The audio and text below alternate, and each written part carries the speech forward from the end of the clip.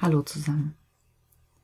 Ich möchte heute über Verletzlichkeit sprechen und was darin für eine besondere Kraft steckt. Ich habe gestern eine Dokumentation, eine BBC-Dokumentation über ähm, Autisten gesehen ähm, und darin geht es darum, dass Autisten zu Wort kommen, um ihre eigene Wahrnehmung der Welt ähm, mitzuteilen. Und mir ist dabei aufgefallen, wie bedeutsam das ist, wenn wir unsere Prozesse, wenn wir unser Innenleben deutlich machen. Das ist auch Teil ähm, meiner Mission und wie ich äh, diesen ganzen Kanal aufziehe. Und in dieser Dokumentation habe ich nochmal aus der Zuschauerbrille sehr bewusst miterlebt, wie das Ganze auf mich wirkt. Und was ich so bemerkenswert daran fand, war, dass Menschen, die traditionell geschwiegen haben, die sich versteckt haben mit ihren Eigenschaften, mit ihren Besonderheiten. Ähm, ganz bewusst die Entscheidung getroffen haben, ich werde sichtbar. Die hatten Unterstützung von einem ganz wunderbaren äh, TV-Team. Die haben Filme gedreht, wo mit visueller Unterstützung die Botschaft der autistischen Personen äh, unterstützt wurde. Und ähm, diese Filme sind dann den Menschen, die diesen äh, autistischen Personen besonders nahe standen, gezeigt worden. Das hat mich unglaublich berührt. Und eben jetzt, sogar wenn ich darüber spreche, berührt es mich sofort wieder. Und auch in meiner Therapieausbildung habe ich bereits diese Erfahrung gemacht. Am Anfang, wenn wir in eine Gruppe gehen, dann guckt man sich so die Leute an und denkt, hm, der zieht mich mehr an, die weniger. Manchmal haben wir Leute, die, ähm, mit denen wir anfangs eher mit Vorsicht begegnen. Und durch meine Ausbildung war, war ich ja sehr lange äh, über einen langen Zeitraum in einem Prozess in einer Gruppe und habe Menschen ja, näher kennengelernt. Und ich habe jedes Mal die Erfahrung gemacht, je mehr ich von ihnen gesehen habe, desto mehr Sympathie entstand, desto mehr Nähe entstand. Das war fast schon automatisch. Wir können das sogar beobachten, in Filmen, auch in der Filmindustrie, wird das verwendet ganz bewusst, um Identifikation zu schaffen, auch zum Beispiel, wenn wir einen Bösewicht haben. In dem Moment, wo wir dessen Motivation erfahren, wo wir dessen Wunde erfahren, wo wir, wo er ein Stück für uns sichtbar wird in seiner Verletzlichkeit, verbinden wir uns, manchmal gegen unseren Willen.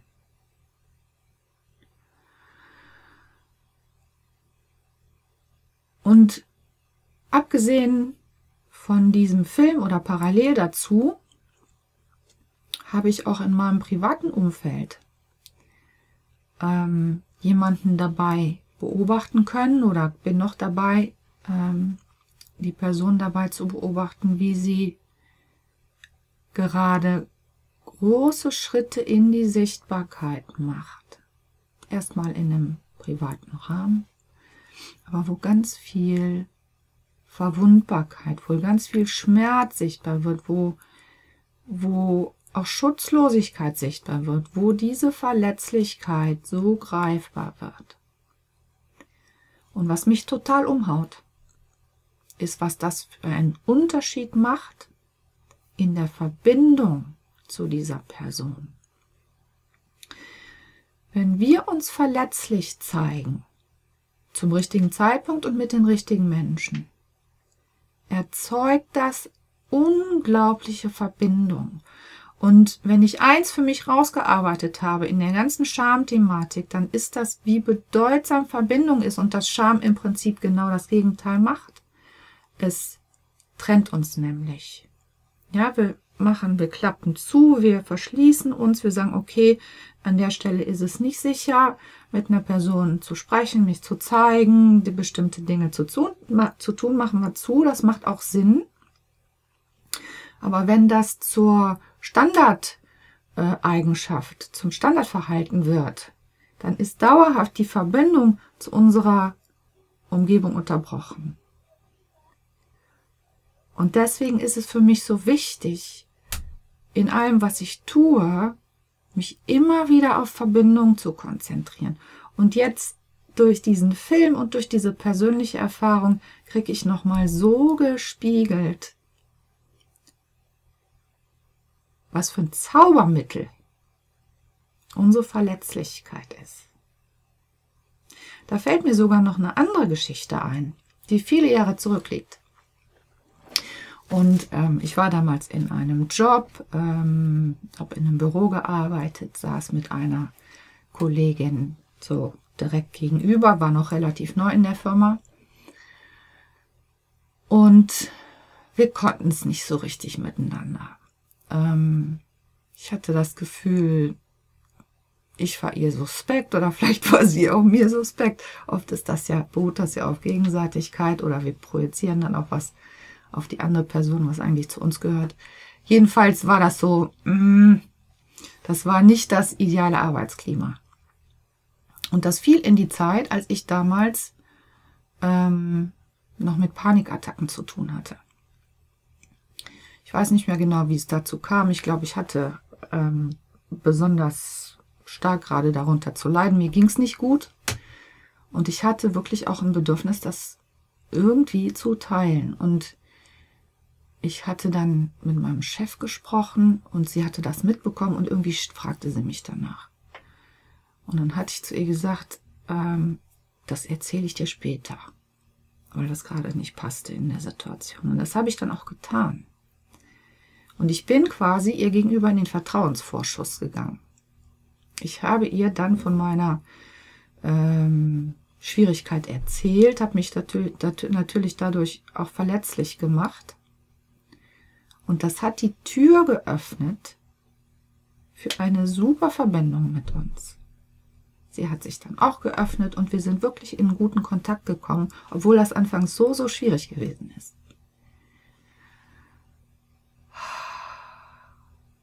Und diese Verletzlichkeit ist gleichzeitig so bedrohlich. Ja, wenn wir lange Schamerfahrungen gemacht haben, häufig Schamerfahrungen, dann ist es uns zur zweiten Natur geworden, immer diese Schilde hochzuhaben. Und ganz ehrlich, das ist in unserer heutigen Welt oft auch eine gute Idee. Also es ist nicht so, als ob wir uns das alles nur eingebildet hätten. Überhaupt nicht. Wir haben in der Regel, wenn wir diese Schilde oben haben, verdammt gute Gründe dafür, dass wir das getan haben. Und doch und doch können wir Plätze, Situationen und Menschen finden, wo wir es riskieren können, diese Masken fallen zu lassen. Und wenn wir uns das trauen, dann passieren Wunder. Und ich bin total berührt von dieser Art Begegnungen wenn hinter einer Maske, wenn hinter einer Fassade plötzlich der Mensch sichtbar wird. Und dann gibt es kaum noch unsicht, äh, unsympathische Menschen. Das ist jedenfalls meine Erfahrung. Denn in der Verwundbarkeit können wir uns verbinden, wir erkennen uns darin wieder und wir erkennen an, wenn jemand mutig ist und sich zeigt. Das wollte ich gerne mit euch teilen. Mehr fällt mir gerade nicht ein. Und ich sage bis bald. Alles Liebe.